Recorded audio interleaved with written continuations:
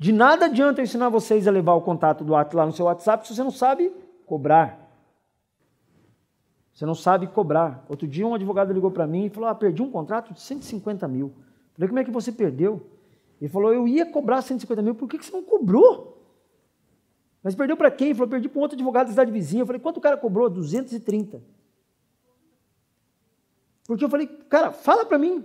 A hora de falar 150 mil, ele não falava. Vender, você tem que vender com força. Vender com vontade.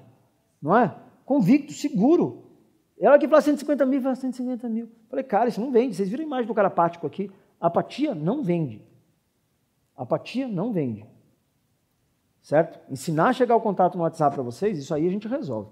Não dá certo um dia, a gente vai indo, vai indo, vai indo, vai indo, a gente pega o veio e vai embora. Vendeu. Eu estou aqui, pessoal, mas estão vendendo o dia inteiro. Nós vendemos um monte hoje já aqui. Está rodando a Black Friday lá. Tráfico rodando, vendendo. Esse é o jogo.